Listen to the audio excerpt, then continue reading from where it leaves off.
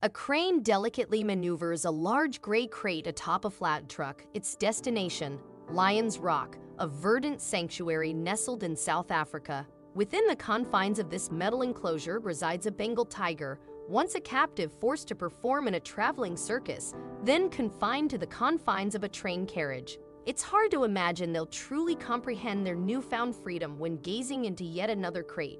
Muses Khalil, a veterinarian and project director at Four Paws International, an animal welfare organization. Khalil and his dedicated team orchestrated the rescue of not just one, but four tigers from deplorable conditions in Argentina.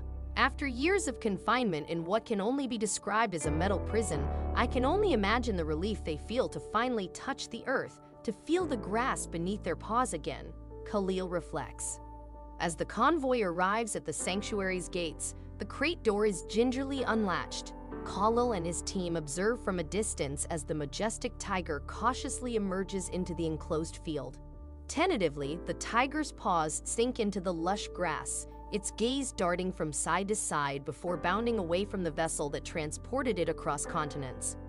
With the first tiger settled, Hildegard Parker, manager of the rescue center located approximately 18 kilometers outside Bethlehem, South Africa, assists in introducing another rescued tiger to its new home.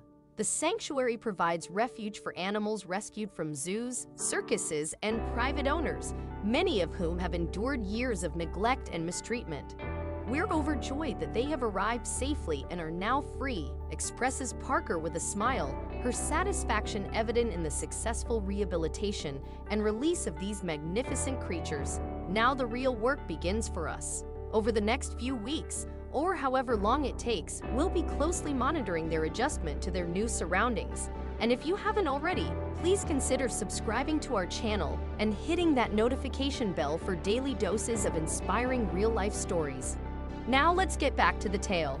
In 2007, a circus troupe abandoned a male and female tiger duo in San Luis, Argentina. Initially entrusted to a local farmer on a temporary basis, the animals were left in his care when the circus failed to reclaim them. Unfortunately, their handler never returned, leaving the tigers confined to a metal train carriage on the farmer's property. As both tigers were of breeding age and unsterilized, they eventually welcomed two cubs into the world while in captivity. Tragically, the train carriage became a squalid environment, littered with excrement and remnants of meat and bones. Thankfully, that's all behind them now. Tigers need space to roam, play, and engage in their natural behaviors. Spending 15 years pacing back and forth in a train carriage is no life for a tiger, remarked Khalil.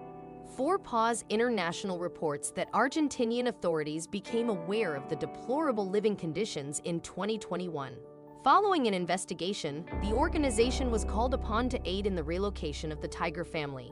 Given the considerable distance they had to travel, about 70 hours by plane, a skilled team of veterinarians and wildlife experts was assembled to oversee the logistics.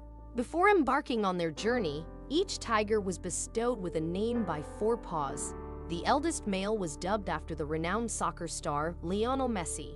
Khalil hopes that the plight of these former circus tigers serves as a poignant reminder of the need for better protection of wild animals and the inherent cruelty of captivity. It's imperative and highly significant that the next course of action involves prohibiting the private captivity of wild animals, he asserted. This is a clear message, a decisive step forward, and it aligns precisely with the mission of Lions Rock here in South Africa. Our ultimate goal is to eliminate the need for sanctuaries altogether, allowing animals to remain in their natural habitats, free from captivity and breeding. Now that the cats are safely situated in South Africa, Parker will oversee their care, he continued. They're understandably apprehensive at the moment, Everything is new to them, and they're displaying aggression towards each other as they navigate these unfamiliar surroundings, Parker explained. The tigers will initially be housed in pairs in temporary enclosures, providing them with the time and space needed to acclimate and find their footing. Once they've settled, they'll have the opportunity to interact with other cats residing at the sanctuary and eventually transition to larger, more expansive habitats, he elaborated. While our ultimate aspiration is for these tigers to roam freely, that goal must be deferred for now. After enduring years of mistreatment, they require rehabilitation, beginning with the simple pleasure of unrestricted movement and the sensation of grass beneath their paws.